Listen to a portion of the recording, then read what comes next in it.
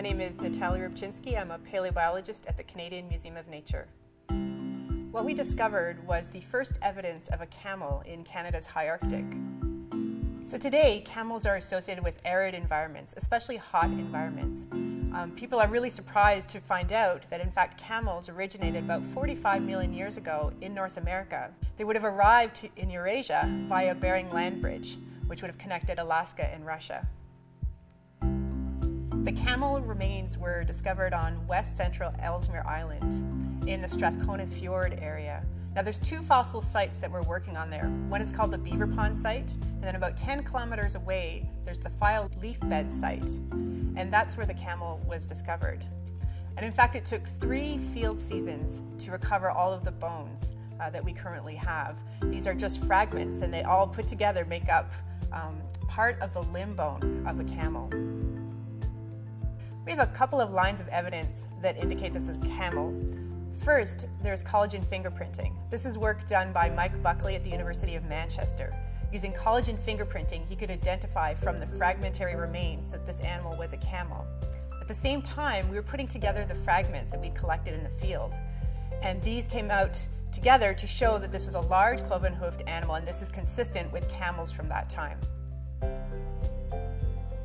In the field, these fossil fragments really look just like shards. Um, they could even be just fossil wood. They look a lot, in fact, like the Eocene wood that we're also finding in the Strathcona Fjord area. So, in fact, the first time I found and picked up a piece, um, it wasn't certain until I got back to the camp that it was actually bone.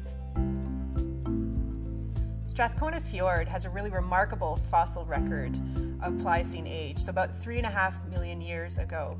Um, we have evidence of this time in the form of fossilized trees, so there's a lot of fossilized wood. There's animals like a bear, a deerlet, we have beaver as well, and of course now we have evidence of a camel. There are several traits seen in modern camels that could have been very helpful for the high Arctic camel. For example, the wide, flat feet that are useful for walking on sand could also have been useful for walking on snow.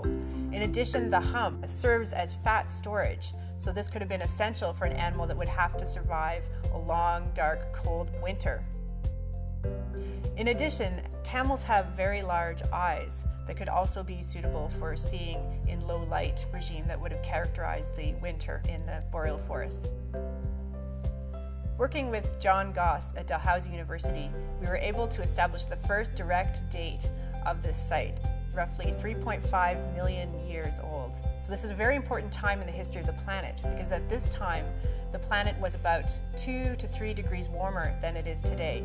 Yet our climate research shows that in the Arctic the temperatures were 14 to 22 degrees warmer.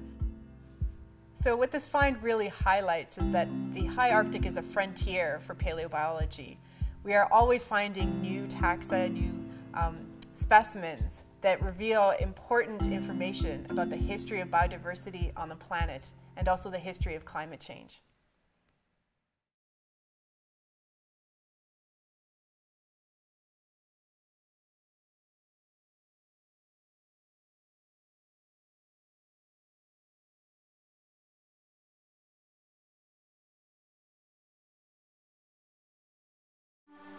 Música